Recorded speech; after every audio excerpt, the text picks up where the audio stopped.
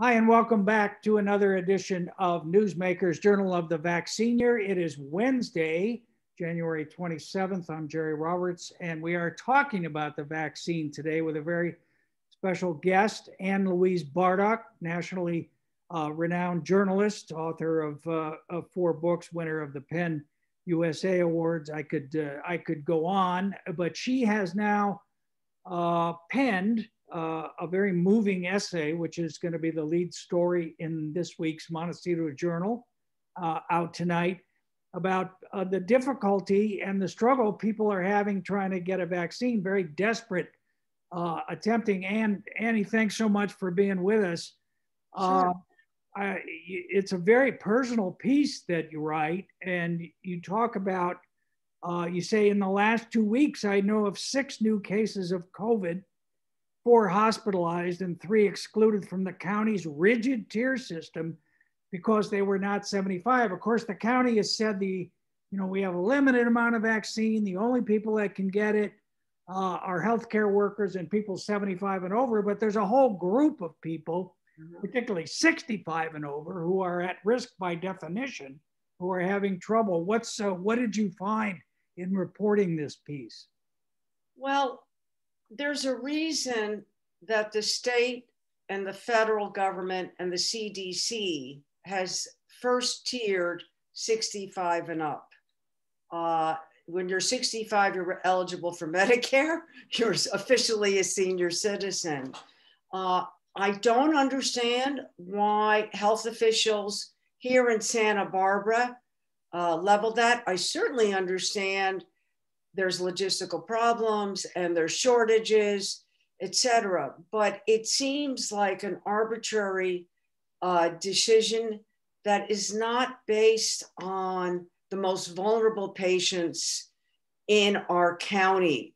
Uh, let me give you a for example. Several pharmacies in Santa Barbara County were following state and federal guidance. Well, Ra- Ra- Ralph's, uh, Kroger's at, at, at, Ralph's for right. Ralph's Pharmacy on Carrillo was in fact the go-to place uh, for all the specialists here in town: the immunologists, the oncologists, the uh, pulmonologists, who were like, "What am I going to do with all my patients?" Uh, even if you don't have cancer today, but you once had cancer, you have damage likely from chemotherapy and radiation that is going to put you at a higher risk. Uh, so these specialists were sending everybody over to Ralph's pharmacy and whatever places they knew about uh, to get vaccinated right away. Because in their view, these people should have been at the top of the list, which is not to say that people 75 and over aren't certainly worthy. Absolutely.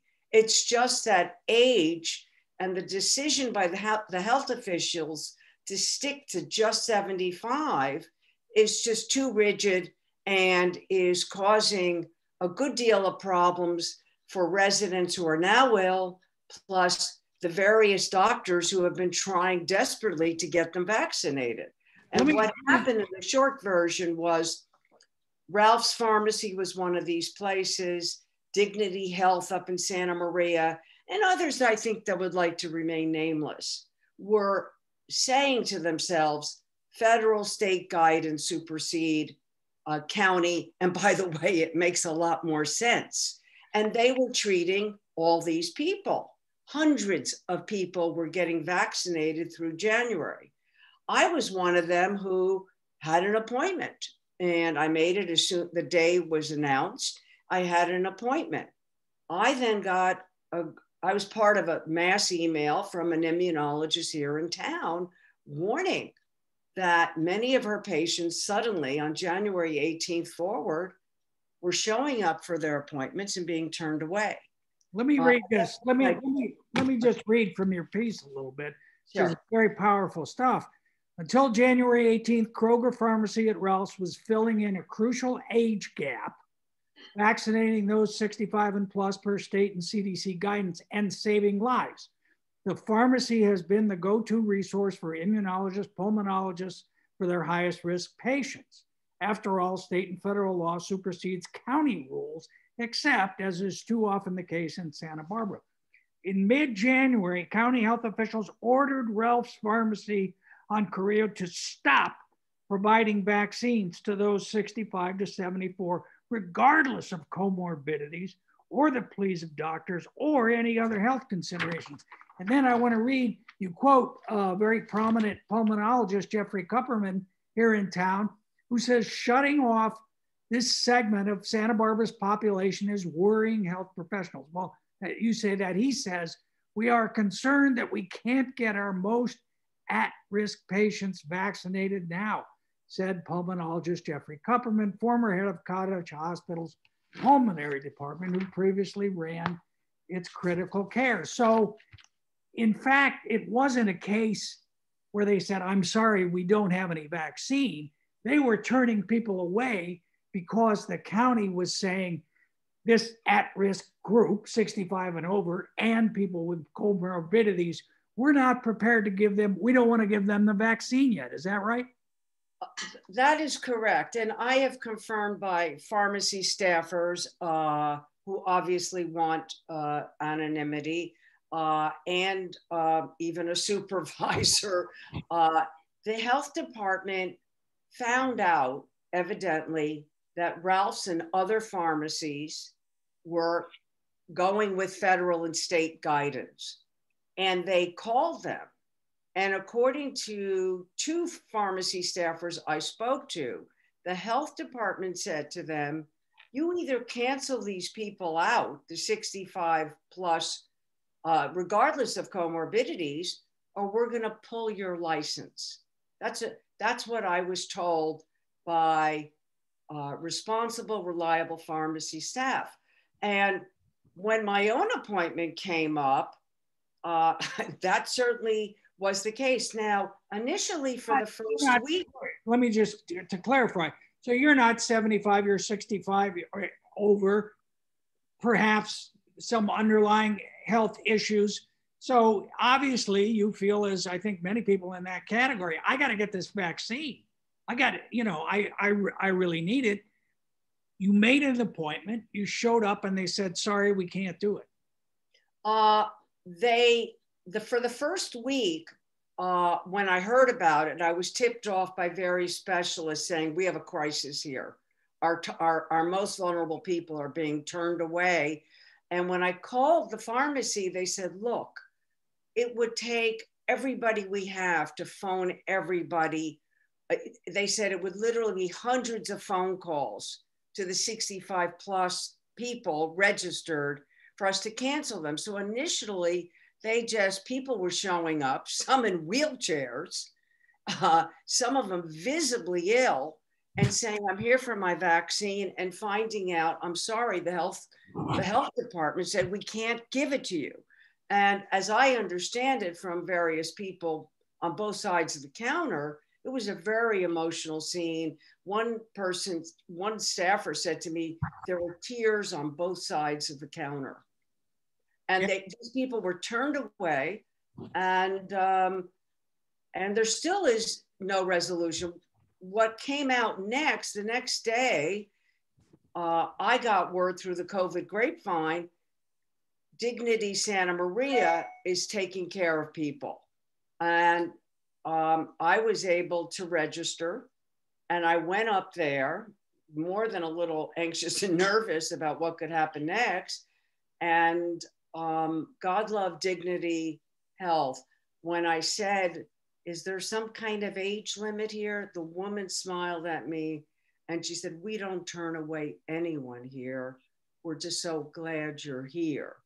And I must tell you, was, I don't get emotional publicly, uh, and it I it got me. And then let, let me just uh, uh read another little bit of the, the piece that's in uh, the Montecito Journal. It's out, uh, out tonight, actually, uh, Ann Louise Bardach's front page uh, piece. Uh, consider that in mid-December, vaccinations began at hospitals and medical offices for all doctors, nurses, staff employees, cafeteria staff, custodians, cleaning personnel were all reportedly included. That's all good news. There was just one omission, patients.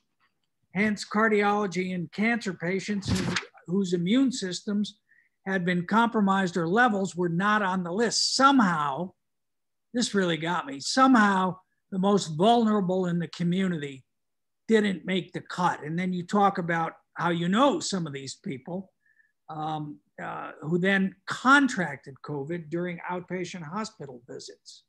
Yes. Uh, go yes. ahead. If you know anybody, uh, and we all do, unfortunately, uh, in our families or ourselves, who've had cancer or serious heart surgery or brain or anything, uh, you are typically an outpatient and then you have to go for care. People uh, may have to go to radiation treatments every day. They may need immunotherapy four days a week. They may need chemotherapy. Uh, they may, might need post-cardial brain care. They need, most serious patients need to return to the hospital for outpatient care. And to my shock and horror, I, in the, in just, in just the last two weeks, I heard about six people that I personally knew who had serious COVID. And some of them, uh, at least two, maybe three, contracted it while at the hospital. Uh, and were told as much. It's not speculative. They were, they were informed because the contact tracing is quite extensive. So while I think it's a good idea to vaccinate your custodial workers, your clerical people, your bookkeepers in the back rooms, I would think front and center at the top of the list will be your patients in the hospital at that moment and those coming daily or weekly for their treatments. Yeah, what I like about this piece is that it's real and it's raw. It's about real people and it's about a conversation that everyone of a certain age or everyone who has certain health problems has been engaged in. People are desperate to get this vaccine, and, and the information that we're getting through the media is basically coming out of those county briefings and the governor's briefings where he's flailing around who knows what today. Uh, and they're saying, oh, everything's fine. We're doing a heck of a job patting themselves on the back. So what do you make of this? They're just trying to color within the lines on this 75 and over thing.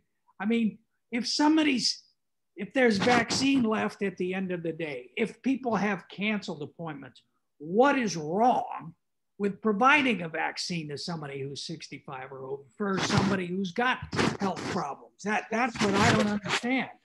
First of all, I think it's a there's already a problem when the county of Santa Barbara says okay, the state and the federal and the CDC has told us to go with 65 and up, but guess what? We're doing our own thing. I always think there's a problem procedurally when the county goes goes on their own. Now I understand the way they're thinking. When I asked a county official and I spoke to some supervisors off record, uh, they said the health officials just wanted, one of them said they just wanted to check the right boxes. And the right box did not include 65 or up, but um, so they kind of took a mess from the state. This is where Santa Barbara County has a unique talent. Uh, in the 30 years I've lived here, I've been able to observe. The state is often muddled and unclear uh, the, like COVID, like cannabis, they put out some muddled guidance. But the county of Santa Barbara seems to have a gift for taking muddled guidance and making it much worse. they don't look at it and say, how can we make this effective and serve our constituents? And I think there's a real issue here that we need help. We need an A team. And whatever we're doing in Santa Barbara County is, is not good enough. We need reinforcements. We need top epidemiologists. Uh, Santa Barbara Cottage Hospital has a very good person, Dr. Fitzgibbons, uh, there. But you need people um, embedded in the health department, the public health department, who are absolute pros with epidemiology and statistics. Um, this is not to say people aren't hardworking and diligent. I'm well, just I mean, let's name. I mean, you you you you point out in the piece that Dr. Charity Dean, uh, one of the top people, certainly in California, if not the nation, right, previously worked for the county, but somehow was not hired on. Uh, and now we have someone who's the chief health officer who isn't the, an MD. Is that correct? And and yes, that, that's correct. Uh, Dr. Charity Dean is uh, a state and nationally uh, well-regarded epidemiologist. As I understand it, she worked AIDS in Africa. She's got what they call an impeccable resume. Uh, I don't know her personally, uh, but I, I know that she has a very good reputation. Uh, she was our health officer. Uh, she then uh, was the acting director of public health, but the supervisors in 2017 decided not to give it to Dr. Dean, and they recruited uh, Van Do-Reynoso, uh, a very efficient, I think, competent person, but a different skill set than uh, an epidemiologist uh, of vast experience. Well, needless to say, the minute the supervisor said, let Charity Dean go, the, this Jerry Brown, who knows good top people, he hired her in a New York minute and installed her up at the top of the state health department. Um, I just don't know why the county would let a top epidemiologist go. Now, in fairness, in 2017, we weren't having a big epidemic. Right. Right. They may be thinking, hey, health, health department, what could it be? Polio shots, you know, smallpox, make sure the kids are getting the flu vaccination. They may not have foreseen this in fairness. The, when I did talk to some of the top specialists at Cottage Hospital, they all said, you know, Dr. Dean was one of them. They respected her. They they regarded they trusted her. And one of the issues I think that could resolve this or move forward is if they create a COVID czar here, and it's an MD who knows every oncologist, uh, cardiologist, immunologist, all the top uh, vulnerable risk groups, and has a daily contact and says, who are your most vulnerable patients? Yeah, no, I think that's a really important point because who has the vaccine? Okay, Cottage has some, and Sansum has some, and right. Dignity Health and Ralph's has some, and Kroger's and it's and it's kind of all over. I mean, I'm old enough to vaguely remember when we got the polio vaccine and there were mass vaccination sites. I mean, that's what's happening in LA, uh, Dodger Stadium, Disneyland, and so on and so forth. Here, it's so atomized, it's so broken up uh, that no one really seems to be in charge. And and I mean, let's face it. If we want to trace this all the way back, it goes back to the the, the Trump administration, which had no plan Absolutely. for distributing. So there are shortages. People are right. The distribution chain all along has been, I don't want to say bungled, but it's certainly had its uh, rough patches. And okay, so we have X amount of vaccine here. How are we using it? Are we using it on the most vulnerable people? And I think right. what your piece does is point to the fact that there are a lot of vulnerable people who are being left out at this point. And some of them are getting sick, and some of them are getting very sick. Uh, and some of them may die. uh, let me add that last piece is that not everybody survives COVID. And if you are in cottage hospital, you've had open heart surgery or brain surgery or uh, very serious chemotherapy, you would be the most vulnerable. Those patients would have the most reduced immune ca- capability to fight COVID. So we don't know this yet, but I, I am fearful that uh, unless this policy is changed, we're going to lose some vulnerable people. Yeah. And you, as you say in the lead, the devastating piece for Santa Barbara County are those who are fighting for their next breath in Cottage Hospital after being denied or deemed ineligible for vaccination by the county. I mean, I think that really, really sums it up. And it's. Uh, I'll give you. Um, of course, everybody wants privacy and everybody deserves confidentiality. But I know a case of somebody just shy of their 75th with multiple comorbidities, uh, couldn't be any more high risk, couldn't get a vaccine. And, you know, and then I'm going to say something else here. Yes, the 65 and up uh, are, are, clearly at almost as vulnerable as the 75 uh, if they have comorbidities for sure. And most people, by the time you go past 50, are going to have something going wrong. But let me point out that we have plenty of 30 and 40 year olds here who have cystic fibrosis. One of the pulmonologists made this point to me that cystic fibrosis, which just devastates your lungs, would make COVID a, almost a death sentence. But they can't vaccinate them if they're a 30 year old person with uh, cystic fibrosis, maybe next year. Let's say you're, you have a teenager who develops leukemia well, they're 17. Too bad. Uh, when are we going to get around to the 17 year olds? And uh, let me put it another way. I have a, I'm very hap- happy and lucky to have a very fit husband who plays singles tennis a couple days a week with a bunch of guys, all of whom are 75 plus.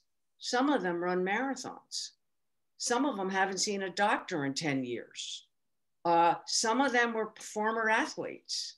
Uh, all of them have been vaccinated, which is not to say I want to take it away from anybody elderly, but we have people 75 and up who are fit, and we have leukemia patients who are 20. And there should be a COVID czar in this loop who says, yes, we're going to go by age, but here's our most vulnerable. We need to get them in here, regardless of age. Now, clearly, if you have a comorbidity and you're post 60 or 65, it's worse. But there's certainly going to be people younger than that who are are are are very impaired. And yeah, it just I mean, it seems like the criteria are really not uh, very nuanced uh, or very uh, substantive in terms of the specifics of the population. It's really a, okay. Everybody 75 and over, you know, needs to. I, I mean, it's just that's is that the right marker? I think is the question that that that your piece raises. Very powerful. And, and also, if you're if if you are told to go to Cottage Hospital for regular treatments, whether that's oncology, cardiology, or endocrinology, if you need to be there for regular treatments, whatever it is, chemo, radiation, or whatever, immunotherapy or heart stents or whatever, you should be protected. If there's enough vaccine for everybody working in the ca- cafeteria, whether you're 20 or 40, there should be enough for our oncology patients. Um, and let me say again anybody who's been through cancer has a damaged immune system. It comes with the territory, uh, unfortunately. If you've had surgery, heart surgery, you have a damaged immune system. So it's not just the people in the hospital, it's all the survivors. Uh, and saying, well, I'm sorry, pal, you're not 75, it just doesn't make any sense. And I think part of the problem is, is that we need a highly respected MD who knows all the specialists, who is in daily contact. And those specialists say, here's my top group, here's my top group, and make sure that somewhere they're included sooner than later. Yeah. Okay. Uh, we just got a couple minutes. I, let, let me just ask you. So, uh, are you now uh, an editor at the Montecito Journal? How does this piece uh, happen to end up on the on, on the front page of the of, of, of the of the Montecito Journal? No, I am, uh, as I've told everybody for five years, I am retired, I, I think, but there have been exceptions. And um, I know there's been a series of exceptions. I'm trying to devote myself to some books. Uh, but I will write a piece uh, when the steam rises above my eyebrows. I'm up and uh, my husband says, God damn it, just write it. Okay. And then it just comes out.